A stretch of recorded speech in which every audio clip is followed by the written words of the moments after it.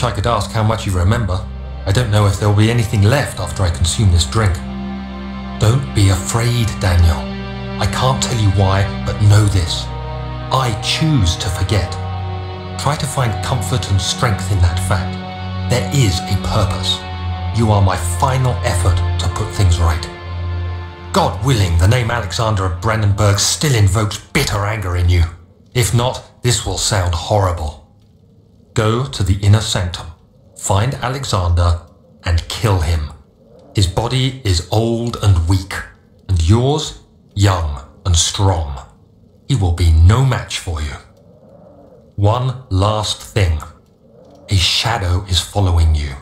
It's a living nightmare, breaking down reality. I have tried everything and there is no way to fight back. You need to escape it as long as you can. Redeem us both, Daniel. Descend into the darkness where Alexander waits and murder him. Your former self, Daniel.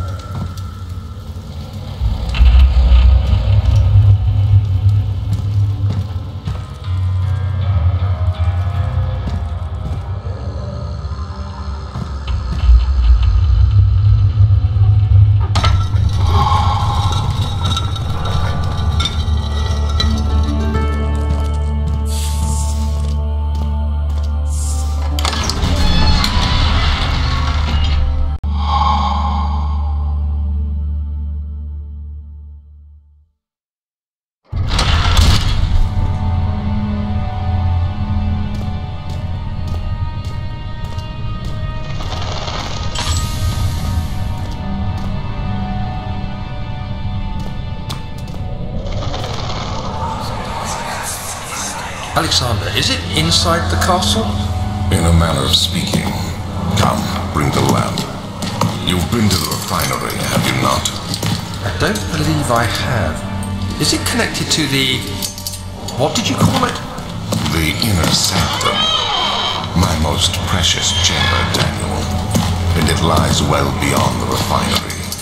In fact, it lies beneath the very stone of Brennenburg.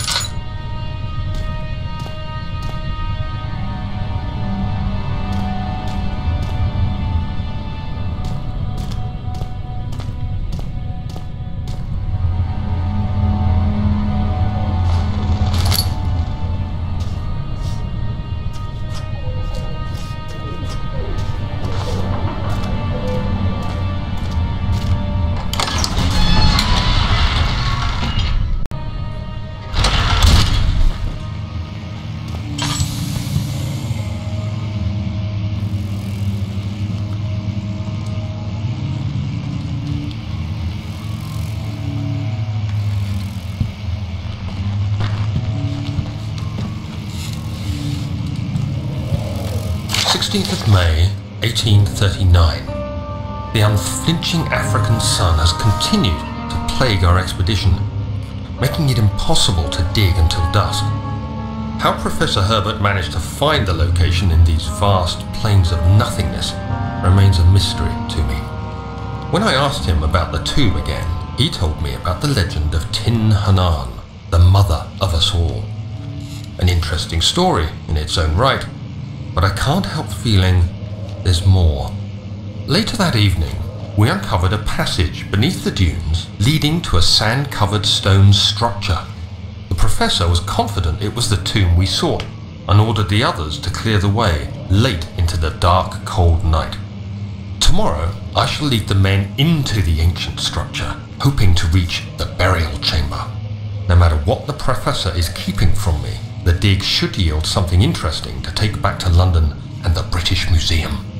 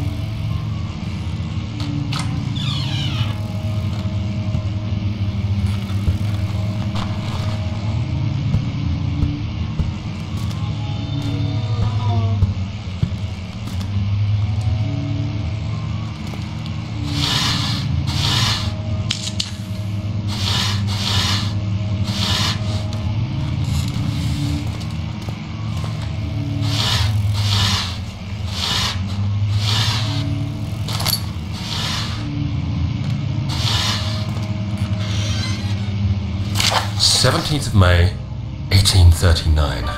My hands tremble as I write. I feel a need to document my tribulation, for I fear that my memory will fail me if I linger. Today, I took some men and ventured into the dark, ancient passage we uncovered. Our torches burned faintly in the murky air as we slowly made our way underground. The men were superstitious and fearful. They argued loudly, and I felt their strange language getting to me. I mustered my strength and yelled at them to continue down the slopes and broken steps. The crudely carved passage confused me. It looked much older than the 4th century structure we had expected. The twisting path emerged into a great antechamber. The walls were lined with statues unlike any I'd ever seen. Despite their unearthly quality, I felt a strange familiarity toward them, which haunts me still. At the far end of the chamber, a great slab of stone sealed off whatever lay ahead. I gave the order to raise it, and as I pushed through the narrow space, the heavy stone suddenly dropped, sealing me inside. I was trapped.